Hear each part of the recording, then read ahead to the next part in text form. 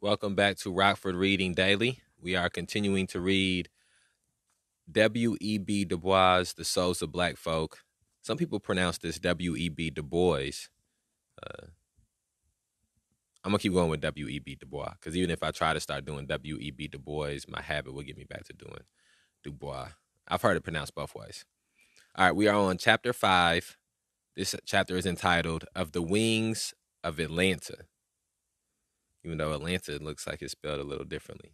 On this one, it's Atalanta. oh, black boy of Atlanta, but half was spoken. The slave chains and the masters alike are broken. The one curse of the races held both in tether. They are rising, all are rising, the black and white together. Whittier. South of the north, yet north of the south, lies the city of a hundred hills, peering out from the shadows of the past into the promise of the future. I have seen her in the morning, when the first flush of day had half roused her. She lay gray and still on the crimson soil of Georgia. Then the blue smoke began to curl from her chimneys. The tinkle of bell and scream of whistle broke the silence. The rattle and roar of busy life slowly gathered and swelled, until the seething whirl of the city seemed a strange thing in a sleepy land. Once, they say, even Atlanta slept dull and drowsy at the foothills of the Alleghanies, until the iron baptism of war awakened her with its sullen waters, aroused and maddened her, and left her listening to the sea. And the sea cried to the hills, and the hills answered the sea, till the city rose like a widow and cast away her weeds, and toiled for her daily bread. Toiled steadily, toiled cunningly, perhaps with some bitterness, with a touch of reclaim, and yet with real earnestness and real sweat. It is a hard thing to live haunted by the ghost of an untrue dream, to see the wide vision of empire fade into real ashes and dirt, to feel the pang of the conquered, and yet know that with all the bad that fell on one black day, something was vanquished that deserved to live, something killed that injustice had not dared to die. To know that with the right that triumphed, triumphed something of wrong, something sordid and mean, something less than the broadest and best. All this is bitter hard, and many a man and city and people have found in it excuse for sulking and brooding and listless waiting.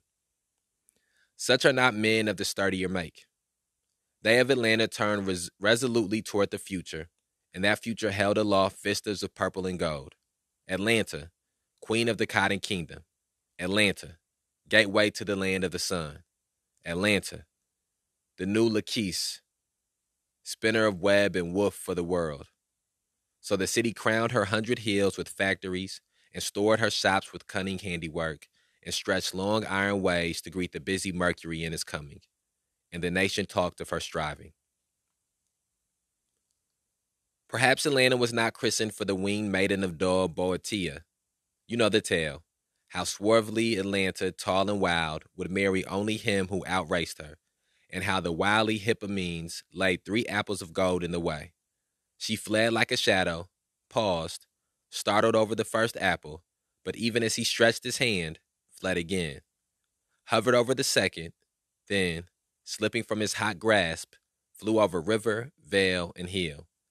But as she lingered over the third, his arms fell round her, and looking on each other, the blazing passion of their love profaned the sanctuary of love, and they were cursed. If Atlanta be not named for Atalanta, she ought to have been. Atalanta is not the first or the last maiden whom greed of gold has led to defile the temple of love. And not maids alone, but men in the race of life sink from the high and generous ideals of youth to the gambler's code of the boors. And in all our nation's striving is not the gospel of work befouled by the gospel of pay? So common is that one half think it normal. So unquestioned that we almost fear to question if the end of racing is not gold, if the aim of man is not rightly to be rich. And if this is the fault of America, how dire a danger lies before a new land and a new city, lest Atlanta, stooping for mere gold, shall find that gold accursed. It was no maiden's idle when excuse me. It was no maiden's idle whim that started this hard racing. A fearful wilderness lay about the feet of that city after the war feudalism, poverty, the rise of the third estate, serfdom, the rebirth of law and order, and above and between all, the veil of race. How heavy a journey for weary feet. What wings must Atlanta have to flit over all this hollow and hill, through sour wood and sullen water, and by the red waste of sun-baked clay? How fleet must Atlanta be if she will not be tempted by gold to profane the sanctuary? The sanctuary of our fathers has, to be sure, few gods. Some sneer, quote, all too few, end quote. There is the thrifty Mercury of New England, Pluto of the North, and Ceres of the West. And there, too, is the half forgotten Apollo of the South, under whose aegis the maiden ran, and as she ran, forgot him, even as there in Boeotia Venus was forgot. She forgot the old ideal of the Southern gentleman, that new world air of the grace and courtliness of, patri- of patrician, knight, and noble. Forgot his honor with his foibles, his kindliness with his carelessness, and stooped to apples of gold, to men busier and sharper, thriftier and more unscrupulous. Golden apples are beautiful. I remember the lawless days of boyhood, when orchids and crimson and gold tempted me over fence and field, and, too, the merchant who has dethroned the planter is no despicable parvenu. Work and wealth are the mighty levers to lift this old new land. Thrift and toil saving are the highways to new hoop, to new hopes and new possibilities. And yet the warning is needed lest the wily hippomenes tempt Atlanta to thinking that golden apples are the goal of racing, and no more incidents by the way, and not mere incidents by the way. Excuse me. Atlanta must not lead the South to dream of material prosperity as the touchstone of all success. Already the fatal might of this idea is beginning to spread. It is replacing the finer type of Southerner with vulgar money getters. It is burying the sweeter beauties of Southern life beneath pretense and obstination. For every social ill, the panacea of wealth has been has been urged. Wealth to overthrow the remains of the slave feudalism. Wealth to raise the quote cracker, end quote, third estate. Wealth to employ the black serfs, and the prospect of wealth to keep them working. Wealth as the end and aim of politics, and as the legal tender for law and order. And, finally, instead of truth, beauty, and goodness, wealth as the ideal of the public school. Okay, let's take a moment to reflect here. And this is so he's throughout this chapter, uh, W.E.B. Du Bois is mixing Greek mythology. I believe that's Greek mythology. Maybe Roman mythology. Greek and Roman mythology are sort of convoluted. I think once Rome conquered Greece, they like tried to amalgamate their deities into one. And so throughout this text, he's using mythology to draw a parallel to the values that exist in American society. And he's taken the time to emphasize the fact that wealth has become the number one value, that making money has become the number one value, that uh, it, that things that should not be things that that the the idea of life has been instead of the pursuit of happiness is the pursuit of money.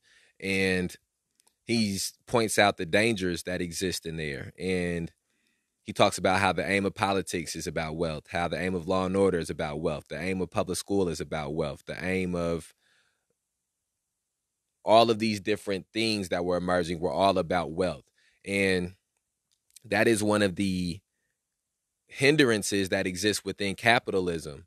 And that is why we cannot simply just there's been a lot of rhetoric about how the way to defeat the racist structures and racist institutions that are in place currently in America is about trying to get black people more jobs or getting black people more economically advanced or or financially advanced and black people making more money. And the truth of the matter is is that racism and capitalism are intertwined with each other and trying to beat racism with capitalism is as ludicrous as trying to beat capitalism with racism. Uh, they're two two sides of the same coin. And and I think that it's important to hear him highlighting these things because of the fact that a lot of times we and currently a lot of the people who are considered to be quote unquote black leaders are the black people with the most amount of money or black people with the most amount of wealth or black people with a substantial amount of money and it's not necessarily black people who have who are who are philosophical or black people who are uh, activists or black people who are forward thinking or trying to get us to a better place as the masses of black people. There are a lot of black people who have focused on their individual wealth and their individual success. And a lot of times that is used against the masses of black people. They don't use the one or two or three or four black people who accumulate wealth to to destroy racist thoughts thoughts or racist concepts. They use it to to to uh embolden not embolden is not the right word I'm looking for, but they use them to uh sort of we'll just use embolden for nah embolden is not the right word. Uh they use it as sort of a crutch. They say, well, this is the exception, or why can't you, or you're not like the other black people, or why can't you be like this person? Or they point to, well, this person did this and they were black, so you should be able to do these same things. And so individualism is oftentimes the enemy of collectivism and is not a an ally to collectivism. And so individual black people accumulating wealth is not a weapon to be used against racism. A lot of times it will be a tool that is used to perpetuate racism. And we've we've spoken about here how police terrorism and mass incarceration have direct ties to money. That when you get arrested, you got to pay money to get out of jail. When you get found convicted, you pay court fines, or uh, when people get tickets, they pay fines. And a lot one of the things you hear about public school, or not even just public schools, because this was a time where private schools wasn't anywhere near the same relevance as they are now. But these schools are also used uh, as to be seen as a way for you to go to college or go get a job. There's not necessarily about becoming more knowledgeable or educating yourself or or learn, learning about truth and the importance of truth. Uh, and then also in here we see the importance of the city of Atlanta in Black history and in Black culture, in American history and American culture. And I think all of those things are what stands out from this first section that we've read. Okay, had to take a slight break there. Let's pick up where we left off. Not only is this true in the world which Atlanta typifies, but it's threatening to be true of a world beneath and beyond that world, the black world beyond the veil. Today, it makes little difference to Atlanta, to the South, what the Negro thinks, dreams, or wills. In the soul life of the land, he is today, and naturally will long remain, unthought of, half forgotten. And yet, when he does come to think and will and do for himself, and let no man dream that day will never come, then the part he plays will not be one of sudden learning, but words and thoughts he has been taught to lisp in his race childhood. Today, the ferment of his striving towards self realization is to, to the strife of the white world like a wheel within a wheel. Beyond the veil are smaller but light problems of ideals, leaders, and the lead, of serfdom, of poverty, of order and subordination, and, through all, the veil of race. Few know of these problems, few who know notice them, and yet there they are, awaiting student, artist, and seer, a field for somebody penetrated. Excuse me, a field for somebody to discover. A field for somebody some time to discover. Excuse me. Hither has the temptation of Hippomenes penetrated. Already in this smaller world, which now indirectly and, and non directly must influence the larger for good or ill, the habit is forming of interpreting the world in dollars. The old leaders of Negro opinion and the little groups where there is a Negro social consciousness are being replaced by new. Neither the black preacher nor the black teacher leads us as he did two decades ago. Into their places are pushing the farmers and gardeners, the well paid porters and artisans, the businessmen, all those with property and money. And with all this change, so curiously parallel to that of the other world, goes to the same inevitable change in ideals. The South laments today the slow, steady disappearance of a certain type of Negro, the faithful, courteous slave of other days, with his incorruptible honesty and dignified humility. He is passing away just as surely as the old type of Southern gentleman is passing, and from not dissimilar causes. The sudden transformation of a fair, far off ideal of freedom into the land, into the hard reality of breadwinning and the consequent defecation of bread.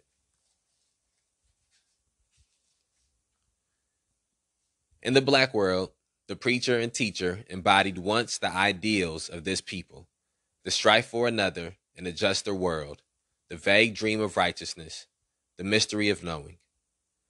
But today, the danger is that these ideals, with their simple beauty and weird inspiration, will suddenly sink to a question of cash and a lust for gold. Here stands this young black Atalanta, girding herself for the race that must be run. And if our eyes be still toward the hills and sky as in the days of old, then we may look for noble running. But what if some ruthless or wily or even thoughtless hippomenes lay golden apples before her? What if the Negro people be wooed from a strife for righteousness, from a love of knowing, to regard dollars as the be all and end all of life? What if to the mammon, mammonism mammonism, excuse me. What if to the mammonism of America be added the rising mammonism of the reborn South and the mammonism, mammonism of the South be reinforced by the budding mammonism of its half awakened black millions? Whither, then, is the new world quest of goodness and beauty and truth going glimmering? Must this and that fair flower of freedom which, despite the jeers of latter day striplings sprung from our fathers' blood, must that too degenerate into a dusty quest of gold, into lawless lust with hippomenes? And again, he continues to intertwine uh, stories of Greek mythology. I, I, it's been a while since I read some of those stories. I got to touch up on it. One of the things that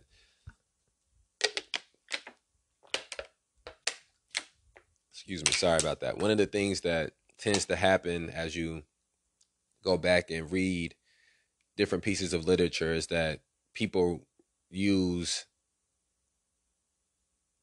when people draw metaphors and analogies, they do things that were relevant to the time period. And so I think that even just in reading a book like The Souls of Black Folk, it teaches you about so many different uh, different things based on that time period and refreshes you on so many different things based on that time period.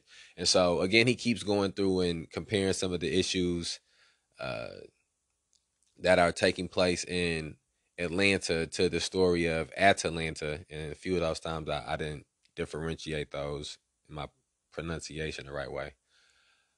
And speaking about the black community as they become more assimilated and strive to become more assimilated and part of uh, the mainstream American culture, taking on the faults that were beginning to emerge and taking place in mainstream American culture.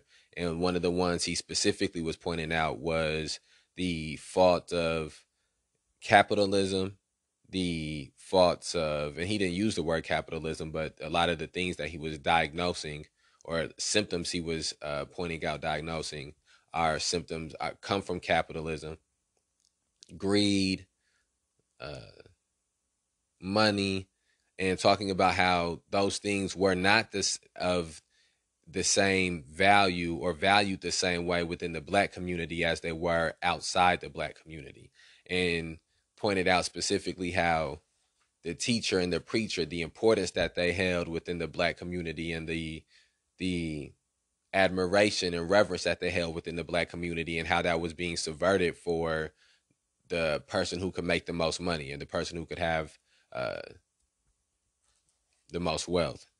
And so, And again, that's something that we pointed out as we've gone through each book. We've talked about how the uh, so many of these aspects of racism which continue to be perpetuated are held together by capitalism and ideals of capitalism.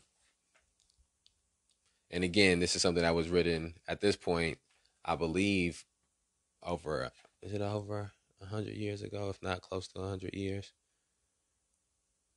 I have to find that out for sure. Okay, let's continue reading. The hundred hills of Atlanta are not all crowned with factories. On one, toward the west, the setting sun throws three buildings in bold relief against the sky. The beauty of the group lies in its simple unity a broad lawn of green rising from the red street with mingled roses and peaches. North and south, two plain and stately halls, and in the midst, half hidden in ivy, a larger building, boldly graceful, sparingly decorated, and with one low spire. It is a restful group. One never looks for more. It is all here, all intelligible. There I live, and there I hear from day to day the low hum of restful life. In winter's twilight, when the sun re- when the red sun glows, I can see the dark figures pass between the halls to the music of the night bell. In the morning, when the sun is golden, the clang of the day bell brings the hurry and laughter of 300 young hearts from the hall and street, and from the busy city below, children all dark and heavy haired, to join their clear young voices in the music of the morning sacrifice. In a half dozen classrooms they gather then, here to follow the love song of Dido, here to listen to the tale of Troy Divine, there to wander among the stars, there to wander among men and nations, and elsewhere, other well worn ways of knowing this queer world. Nothing new, no time saving devices, simply old time glorified methods of delving for truth and searching out the hidden beauties of life and learning the good of living. The riddle of existence is the college curriculum that was laid before the pharaohs, that was taught in the groves by Plato, that formed the trivium and quadri- quadrivium, and is today laid before the freedmen's sons by Atlanta University. And this course of study will not change. Its methods will grow more deft and effectual, its content richer by toil of scholar and sight of seer. But the true college will ever have one goal not to earn meat, but to know the end and aim of that life which meat nourishes. The vision of life that rises before these dark eyes has in it nothing mean or selfish. Not at Oxford or at Leipzig, not at Yale or Columbia, is there an air of higher resolve or more unfettered striving. The determination to realize for men, both black and white, the broadest possibilities of life, to seek the better and the best, to spread with their own hands the gospel of sacrifice. All this is the burden of their talk and dream. Here, amid a wide desert of caste and proscription, amid the heart hurting slights and jars and vagaries of a deep race dislike, lies this green oasis, where hot anger cools and the bitterness of disappointment is sweetened by the springs and breezes of a Parnassus. And here men may lie and listen and learn of a future fuller than the past and hear the voice of time.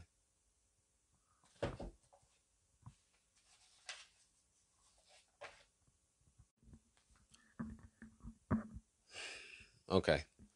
Sorry. Uh, let's keep reading. They made their mistakes, those who planted Fisk and Howard in Atlanta before the smoke of battle had lifted. They made their mistakes, but those mistakes were not the things at which we lately laugh somewhat uproariously. They were right when they sought to found a new educational system upon the university. Where, forsooth, shall we ground knowledge save on the broadest and deepest knowledge? Oh man, this it's like some feedback in the mic. It's cord. I hate I hate I hate when I'm recording the episode, you can hear the cord moving in the back, man. Now I'm trying to move the cord around to get this noise off the background. Hold on. And I got this all on this one take. I don't even wanna I guess I could go back and just cut this off. Alright, I'm gonna have to start over. Hold on one second. Okay. Think we got this mic thing figured out. Where did I leave off at? Okay. They were right when they sought to found a new educational system upon the university. Where forsooth shall we ground knowledge save on the broadest and deepest knowledge? The roots of the tree, rather than the leaves, are the sources of its life. And from the dawn of history, from Academus to Cambridge, the culture of the university has been the broad foundation stone on which is built the kindergarten's ABC. But these builders did make a mistake in minimizing the gravity of the problem before them, and thinking it a matter of years and decades, and therefore building quickly and laying their foundation carelessly and lowering the standard of knowing until they had scattered haphazard through the South some dozen poorly equipped high schools and miscalled them universities. They forgot, too, just as their successors are forgetting, the rule of inequality. That of the million black youth, some were fitted to know and some to dig. That some had the talent and capacity of university men, and some the talent and capacity of blacksmiths. And that true training meant neither that all should be college men nor all artisans, but that one should be made a missionary of culture to an untaught people, and the other a free worker among serfs and to seek to make the blacksmith a scholar is almost as silly as the more modern scheme of making the scholar a blacksmith. Almost, but not quite. The function of the university is not simply to teach breadwinning or to furnish teachers for the public schools or to be a center of, po- of polite society. It is, above all, to be the organ of that fine adjustment between real life and the growing knowledge of life an adjustment which forms the secret of civilization.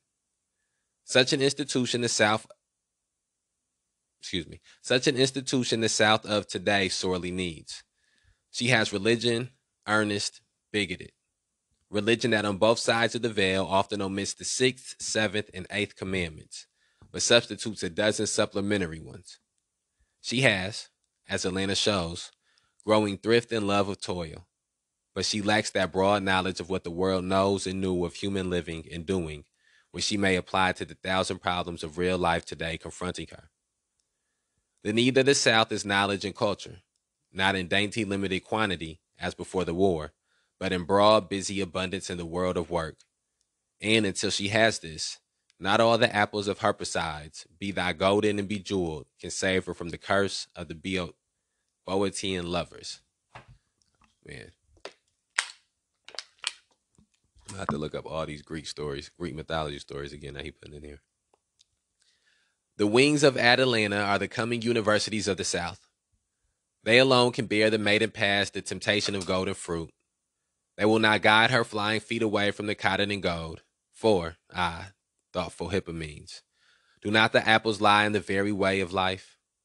But they will guide her over and beyond them, and leave her kneeling in the sanctuary of truth and freedom and broad humanity virgin and undefiled. Sadly, did the old South err in human education, despising the education of the masses and niggardly in the support of colleges. Her ancient university foundations dwindled and withered under the foul breath of slavery. And even since the war, they have fought a failing fight for life in the tainted air of social unrest and commercial selfishness, stunted by the death of criticism and starving for lack of broadly cultured men. And if this is the white South's need and danger, how much heavier the danger and the need of the free men's sons? How pressing here the need of broad ideals and true culture, the conservation of soul from sordid aims and petty passions. Let us build the Southern University, William and Mary, Trinity, Georgia, Texas, Tulane, Vanderbilt, and the others, fit to live.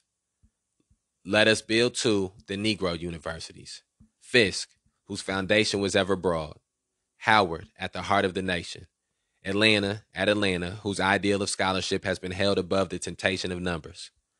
Why not here, and perhaps elsewhere, plant deeply and for all time centers of learning and living, colleges that yearly would send into the life of the South a few white men and a few black men of broad culture, Catholic tolerance, and trained ability, joining their hands to other hands and giving to this squabble of joining and giving to this squabble of the races a decent and dignified peace. Patience, humility, manners, and taste. Common schools and kindergartens. Industrial and technical schools. Literature and tolerance. All these spring from knowledge and culture, the children of the university. So must men and nations build, not otherwise, not upside down. Teach workers to work, a wise saying, when applied to German boys and American girls. Wiser when said of Negro boys, for they have less knowledge of working and none to teach them. Teach thinkers to think, a needed knowledge in a day of loose and careless logic. And they whose law and they whose lot is gravest must have the careful training to think aright. If these things are so, how foolish it is to ask what is the best education for one or seven or sixty million souls. Shall we teach them trades or train them in liberal arts? Neither in both. Teach the workers to work and the thinkers to think.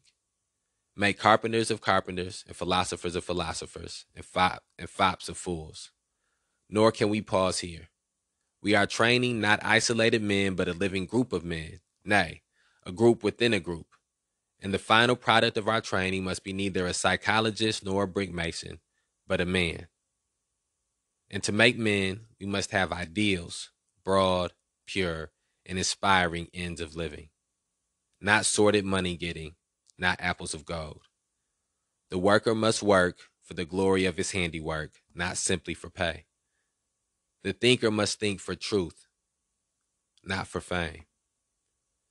And all this is gained only by human strife and longing, by ceaseless training and education, by founding right on righteousness and truth on the unhampered search for truth, by founding the common school on the university and the industrial school on the common school, and weaving thus a system, not a distortion, and bringing a birth, not an abortion. When night falls on the city of a hundred hills, a wind gathers itself from the seas and comes murmuring westward.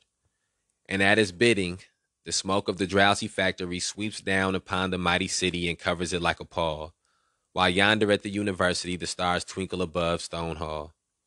And they say that yon gray mist is the tunic of Atalanta pausing over her golden apples. Fly, my maiden, fly, for yonder comes Hippomenes. And that is the end of chapter five. Okay, so upon reflection,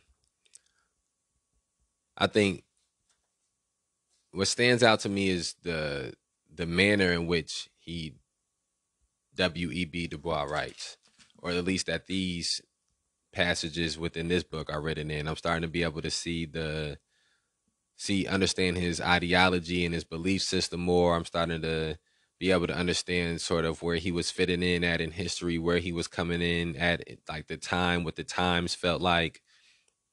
Uh, and I've been uh, in in between reading this, I've been watching things about W.E.B. Du Bois, and I listened to some uh, some audio recordings of his, and the the the direct nature in being able to not only diagnose the problem but also recommend a treatment for the problem is what is very specific to me about what I'm reading from him. And the the his, the foreshadowing that he did of not just issues for black people but issues for the country as a whole. The way he spoke about how issues for the country as a whole had direct correlation to issues uh, of black people.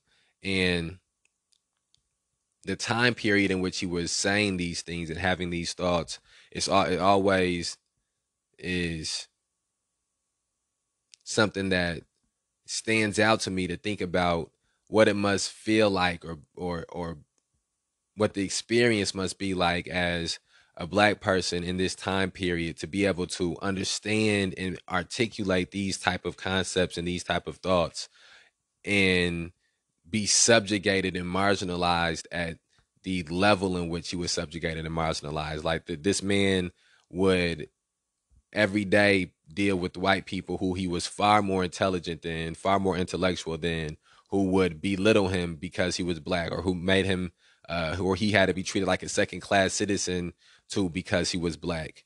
And so those are some of the things that stand out when you just think about how well written this is. To think about what type of experience it must be, that double consciousness that he speaks about, where in one sense he's one of the most educated men in the world, uh, one of the most I don't know if educated is the right term, but uh, I think educate he went to multiple colleges. And, but you understand what I'm saying that he is this man of such of intellectual, intelligent stature, but at the same time he has to ride in the black car or the black ride in the black part of a car to get home, or he has to get his food from the back of a restaurant, or he has to use a certain water fountains. He has to live only in certain neighborhoods, and so he his mind has no uh, really limitations on it, but his life is uh, constricted by limitations.